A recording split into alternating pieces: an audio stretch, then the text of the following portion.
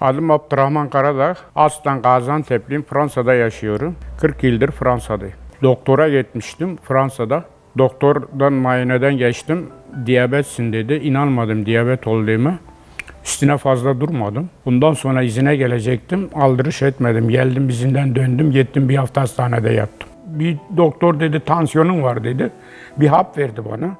Tansiyondan hiçbir zarar görmedim. Yalnız sigaradan Alper Bey'e de söylemiştim. Bu ciğerlerim duman almıştı. 45 gün öyle bir hastanede yattım sigara yüzünden. Onun üzerine bir araştırma yaptılar, bir şey çıkmadı.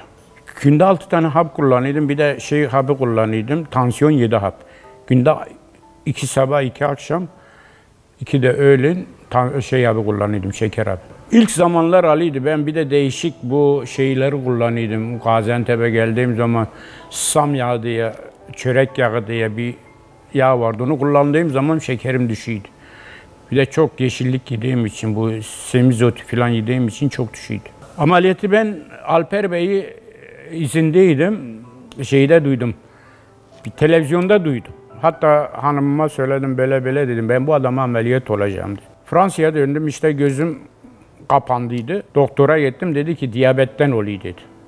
Hele deyince 5. ayın 29'unda beni ameliyat edecekti gözümden. Katarak geliyor dedi. Ben doktordan çıkar çıkmaz geldim direkt hanımıma dedim ki ben Türkiye'ye gidip ameliyat olacağım Alper Bey'e. Bir iki yeri araştırdım, sordum. Çok iyi dediler. Direkt geldim ameliyat oldum hiç kimseye söylemedi. Hiç kimseyle paylaşmadım. Direkt hanımıma dedim ki ben gideyim bir de bana kızdılar. Tek başına nasıl gidip ameliyat oluyorsun diye. Direkt geldim buraya. 18'inde geldim 20'sinde ameliyat oldum. 3 ayda sinirim kalmadı. Düzene bindi. Uyku uyuyamıyordum. Uyuyabiliyorum. Vücutum hep gidişiydi. Onlar kalmadı. Çok rahat. Yani çok memnunum. Hiç daha gitmedim, dönmedim. Bu doktorlar bu ameliyata karşılar. Avrupa'da böyle bir ameliyat yok dediler. Ben zaten doktoruma, aile doktoruma hiç söylemedim. Direkt geldim oldum. Kimseye de söylemedim.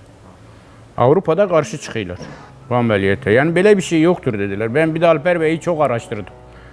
Ee, hemen hemen bu videolarını günde en az 10 sefer dinleydim. Hepsini tek tek inceleydim.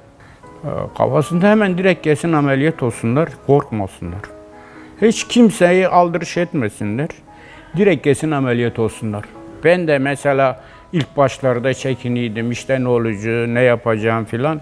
Ama çok şükür çok rahatım. Alper Bey'e duacıyım. Ne kadar geç kalırlarsa o kadar zarar ederler.